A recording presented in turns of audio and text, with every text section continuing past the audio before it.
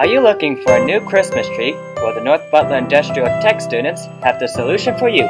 You can purchase a pallet tree which can be artfully decorated.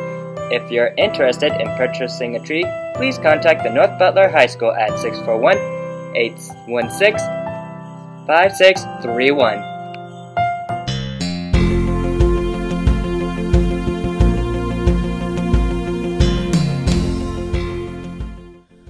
Good morning, Bearcat fans and followers. Today is Wednesday, December 13th, day 3.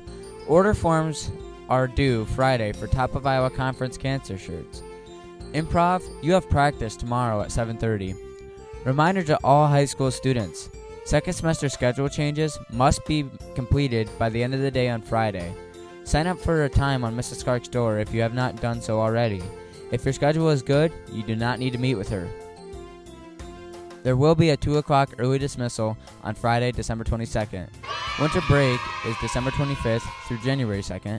Have a relaxing and happy break. December 23rd through December 27th is Dead Week.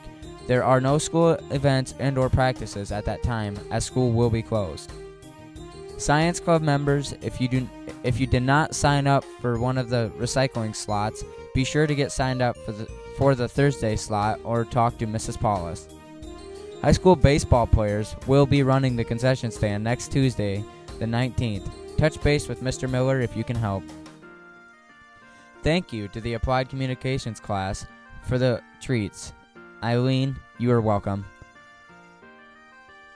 Happy birthday today to Joey Malstead.